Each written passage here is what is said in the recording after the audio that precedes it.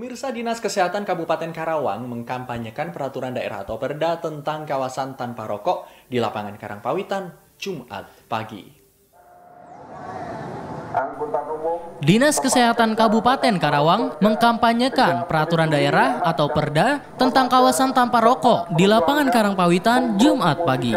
Dalam kampanye ini, Dinas Kesehatan Karawang menyampaikan ke para pejabat pemerintah setempat soal beberapa kawasan yang jadi zona larangan merokok dan dilarang menjual produk rokok. Menurut Sekretaris Dinas Kesehatan Kabupaten Karawang Nurdin, ada tujuh zona larangan merokok dan dilarang menjual produk rokok. Di antaranya tempat ibadah, fasilitas kesehatan, sarana publik, dan tempat lain yang sudah ditetapkan pemerintah.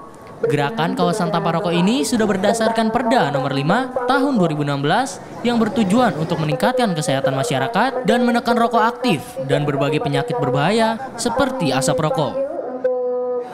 Kita mencoba di Kabupaten itu ada yang kegiatan kampanye tentang kawasan tanpa rokok. Tentu saja ini adalah penjabaran daripada Perda nomor 5 tahun 2016. Kenapa perlu dikampanyekan? Karena Perda ini setelah diterbitkan aplikasinya di lapangannya ini mulai diberlakukan satu tahun setelah itu.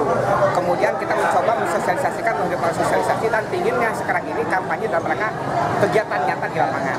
Ada beberapa hal yang kita tuju dalam artian dengan adanya KTR ini, kita menginginkan agar budaya kesehatan masyarakat Kabupaten Karawang itu menjadi lebih baik dengan cara melakukan berperilaku, kemudian tahu pengetahuan, kemudian melakukan sesuatu mampu melaksanakan gaya